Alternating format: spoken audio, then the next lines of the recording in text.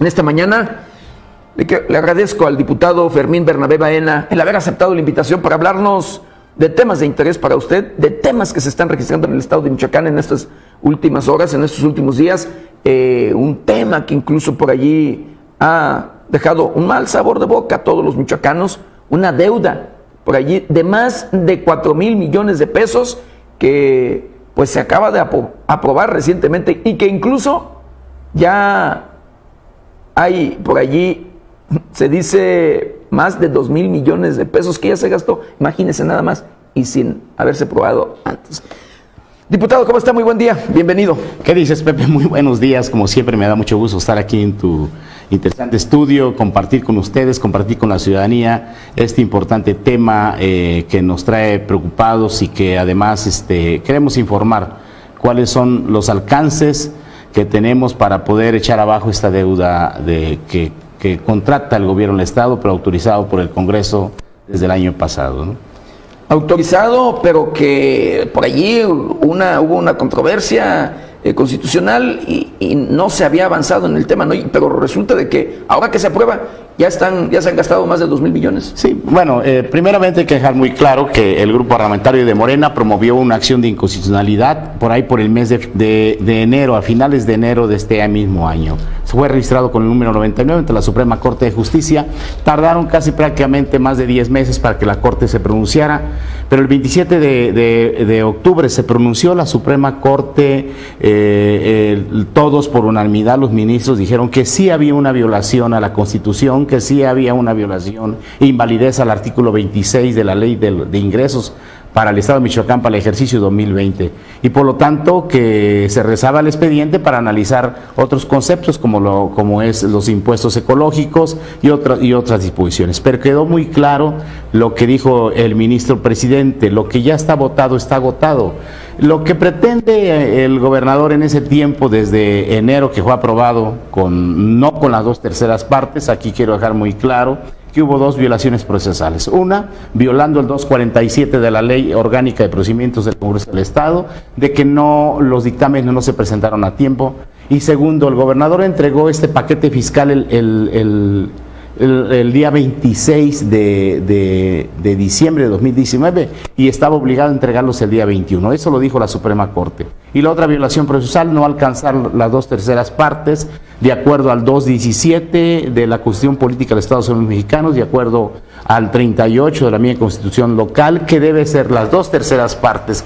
Y como no alcanzó, como en todo ese tiempo, estos casi 10 meses, llegando a los 11, pues ellos contrataron deuda con los bancos, hubo un banco que ya le otorgó 2.045 millones, está por otorgarles otros 2.045 millones. Y lo más insólito, lo más este, eh, corrupto, por decirlo así, presenta ante el Congreso y 26 diputados afines a, a, su, a, su disposición, pues votaron a favor de que hay que corregir la plana. La plana ya no se podía corregir, estamos a unos días que la Suprema Corte decida ya eh, que efectivamente hubo una violación al procedimiento y por lo tanto no puede ser corregible lo incorregible.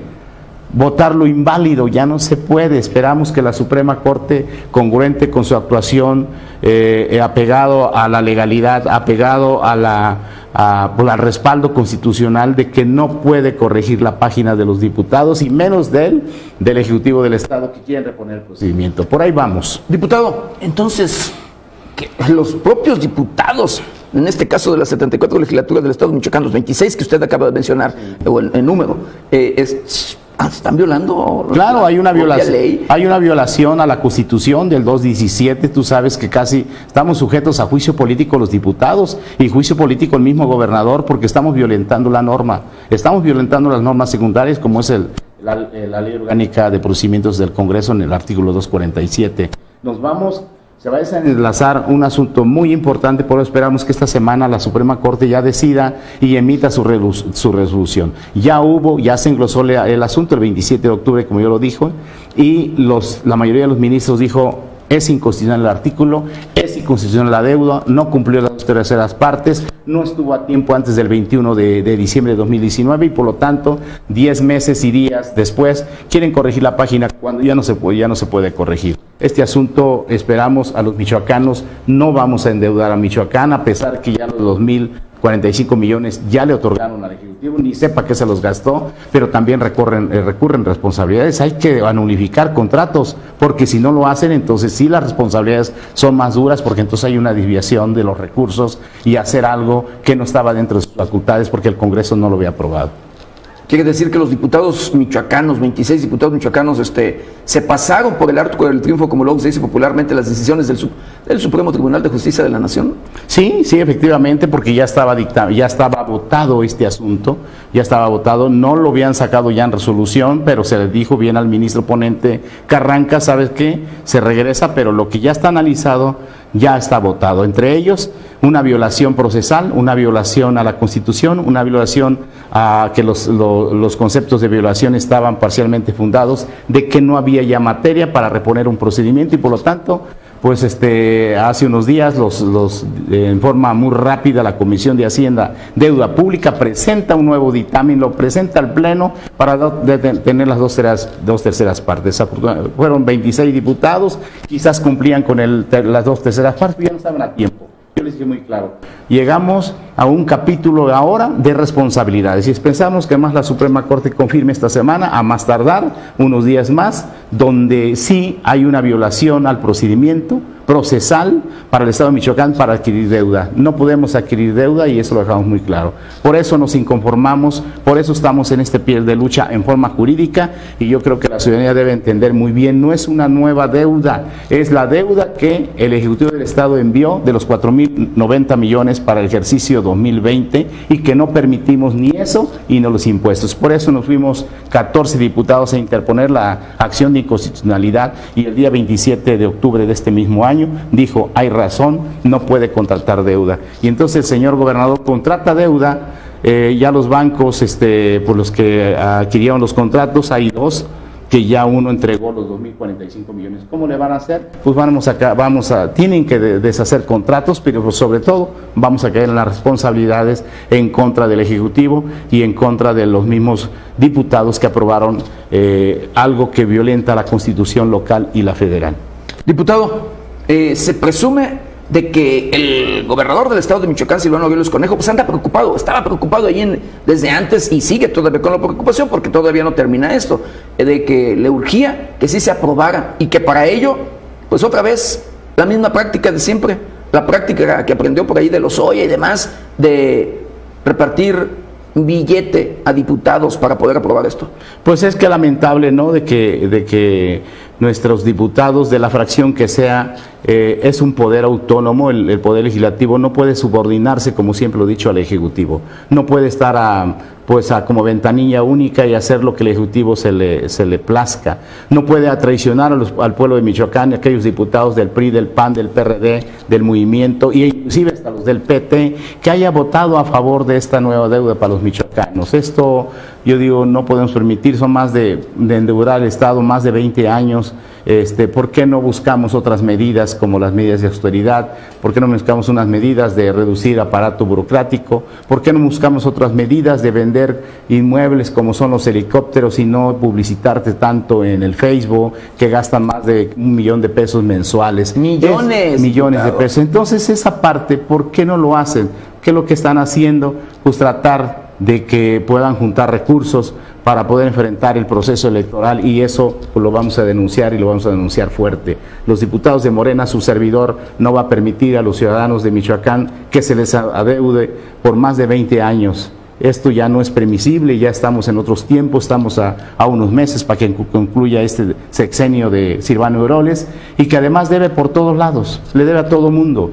Eh, pues se tendrán que visitar. deuda, ya se la gastó, pero los proveedores siguen todavía por allí eh, sin que se les pague. Sí, son varios los maestros, los bachilleratos, los, los este, el programa Toda Máquina, los campesinos, los empresarios, que le deben a todo la, por todos lados. Entonces, ¿dónde, ¿dónde está quedando el dinero? ¿Para dónde está yéndose? Pues hay que investigarse. Por eso yo, en su momento, presentamos ya los juicios ante el Tribunal Electoral ya están presentados en contra de algunos diputados, eso que quede muy claro, no es una revancha política, simplemente es la legalidad tiene que imperar, la ley es por delante y tenemos que eh, ser de esa misma congruencia los diputados de Morena.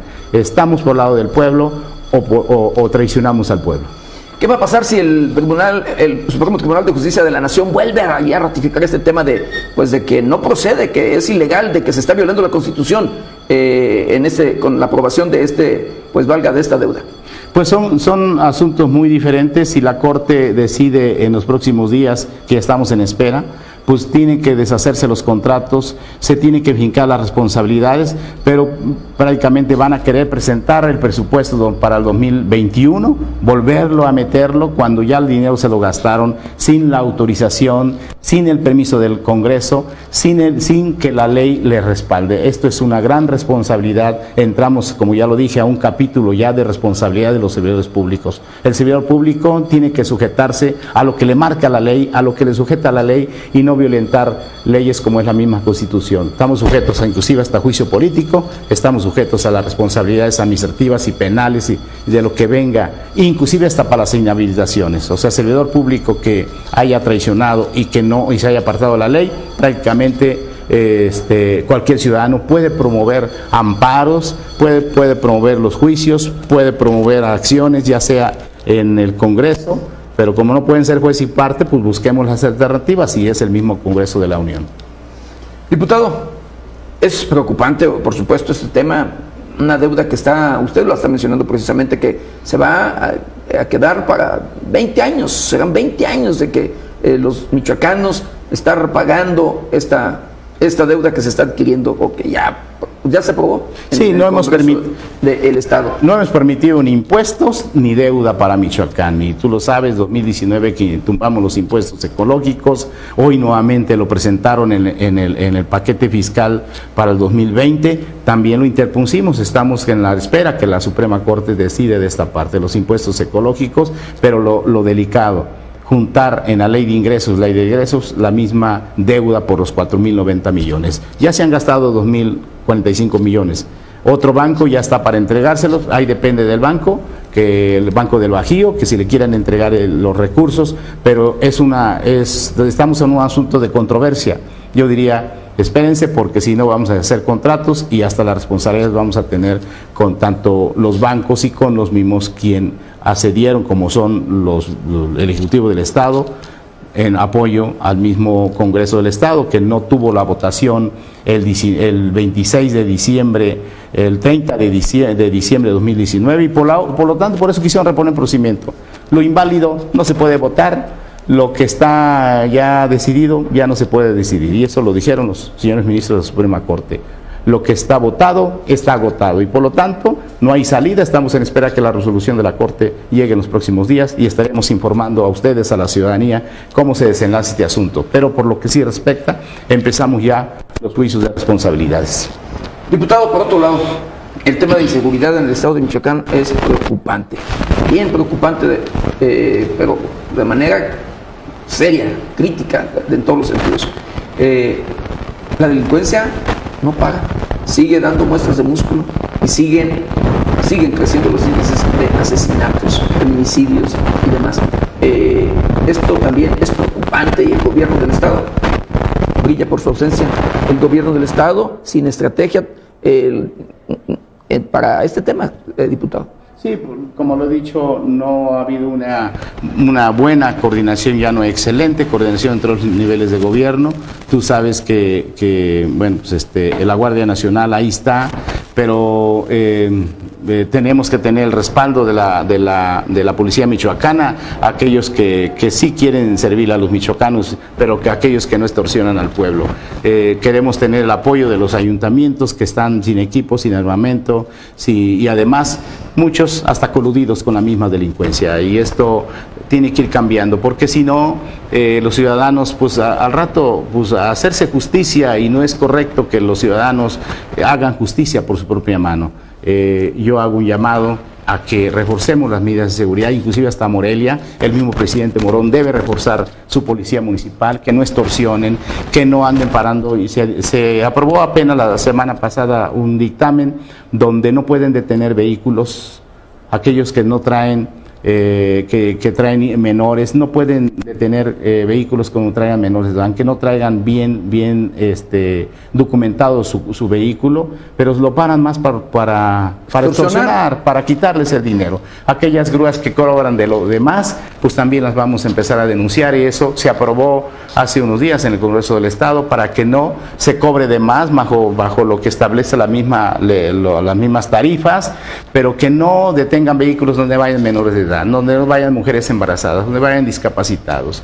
Pero lo más importante, que no extorsionen a nuestros amigos, a nuestros paisanos. No los extorsionen, Policía Michoacana. Tú sabes que vamos a estar muy al pendiente de que esto ya no esté sucediendo. Búsquenle por otro lado, pero no le quiten el poco o lo que traen los campesinos, los, las gentes del campo, los obreros. No les quiten eso, porque entonces seguimos en la misma con la. Pero ¿cómo búsquenle por otro lado, diputado?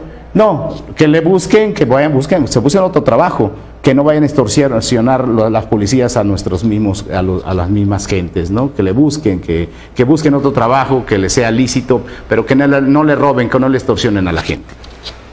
Sí, porque es preocupante, de verdad, como hemos visto, precisamente, incluso lo hemos publicado, cómo han dejado, han bajado familias con bebés, con bebés en brazos, no les importa en absoluto, incluso venían de visita, venían del estado de Guanajuato, ingresando a Michoacán, a Morelia en sí, y los dejan sin Sí, nos ha, nos, ha tocado y lo, he visto contigo. Y no nada más uno, el resto de diferentes formas y no, se llevan los vehículos. Pues esa, policía no debe estar eh, en función, esa policía debe, debe retirarse, esa policía debe correrse, esa policía corrupta que baja y que baja a menores de edad y que los deja a su suerte y llevándose el carro. Esto está ya en la ley, ya no lo podemos permitir, eh, mi amigo Pepe.